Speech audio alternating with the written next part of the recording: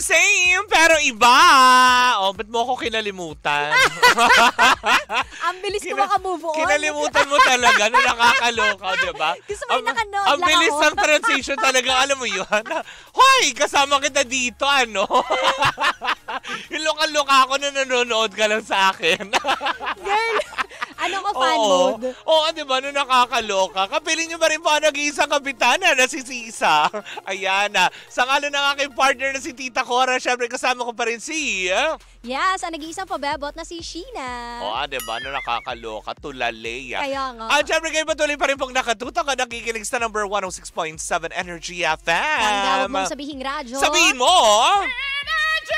Oh, hi. Hello, hello pa rin po sa lahat pa rin po ano mga nakatutok sa atin. Ah, yan sa ating mga Facebook page. At syempre sa lahat ng mga nakikinig ah, sa mga pampublikong sasakyan, lalong-lalo na mga G-Liner at RRCG. Uy. Mabuhay kayong lahat. Suki ako dyan. Hello sa inyo. Good Ay, ah. morning. Oh, di ba? No, nakakaloka. Pero speaking of Suki, eto na. Ano?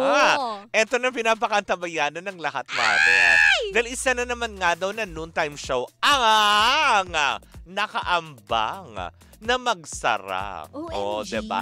Dahil, bago ko ibigay yung title, eto yung nasagap kong chika. Ano?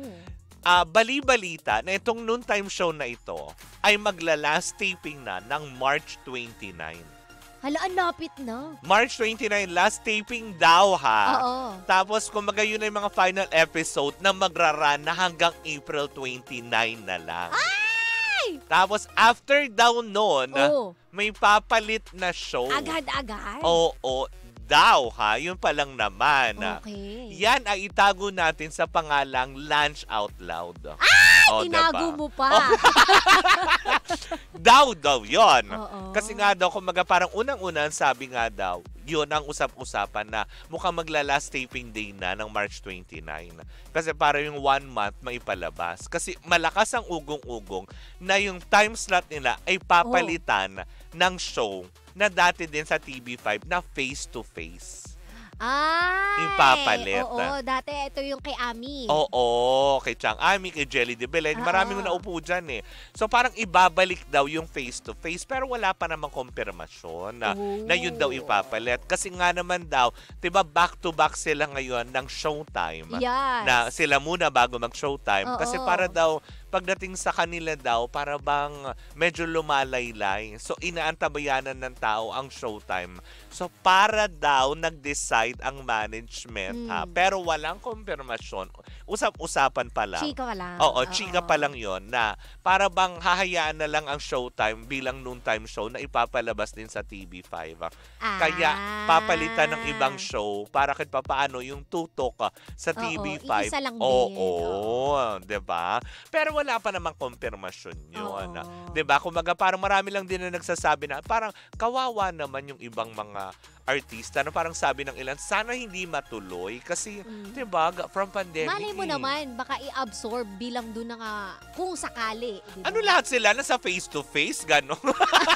Malay, ano hindi, baka, nagbubuntalan di ba silang malay lahat? mo, doon na yung showtime. O malay mo, i-absorb yung iba doon Oh, sa sa tingin mo mawawala. kayo gugustuhin ni Meme na makasama yung mga ibang nang iwan sa kanila.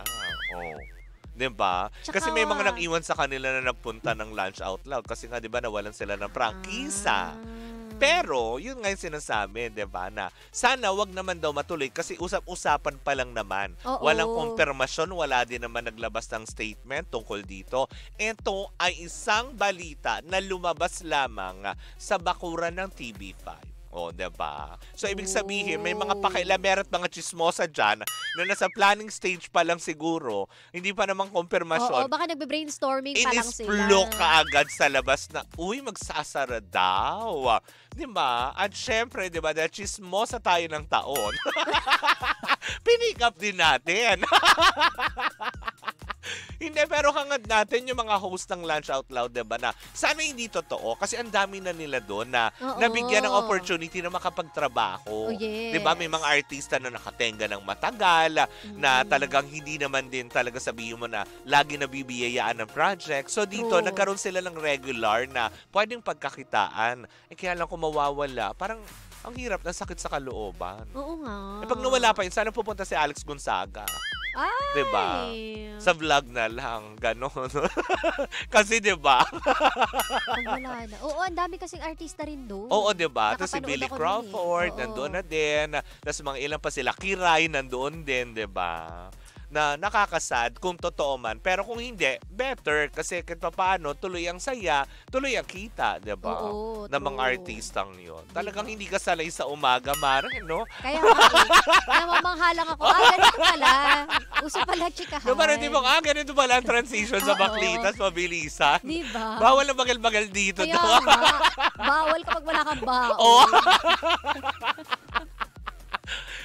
Anyways, maraming maraming salamat sa iyong pag-antabay at pagsama sa akin, Sheena. Oo. Na kahit Alam mo, ang lakas Oo. talaga makaano lang. Yung Na? bisita, hello. Oo. Magpo-promote lang talaga ako, guys. Ano gusto mong i-promote? ah? I-promote mo naman yung show nyo ni Jimo mamayang hapon. Ipo-promote ko po yung Oo. show namin mamaya ni Jibbo. Oo, anong oras? Sa anong drama mo? Oo. Um, alas 3 po ng hapon hanggang alas 6. Okay, Ayan. anong pwede yung tabayanan ng tao sa inyo? Ayun, dun kami dahan-dahan lang, chill lang, ganun. Kwentuhan, yung Gusto ko pang yung- normalan lang. Gusto ko yung ganun, dahan-dahan lang kami. Oo. chill. Uy, maraming salamat. Aantabayanan niya ng mga tao. Oo. For sure. Try mo rin manood naman sa amin. Oo, for sure, promise. Magigest din ako sa inyo. Patapusin lang natin si Kara. Then susunod na siya. Anyways, maraming maraming salamat sa iyo, Sheena. Thank you so much, Mare. Ayan. At syempre, muli po ako pa rin po si Kapitan na isa sa ngalan ng aking partner na si Tita Cora na sana'y gumaling ka na, Mari. Uy, gumaling ka na, girl. I miss you so much, girl. See you next week. Ah. At syempre kami pa rin ang ah, Baklitas! Woo! Woo!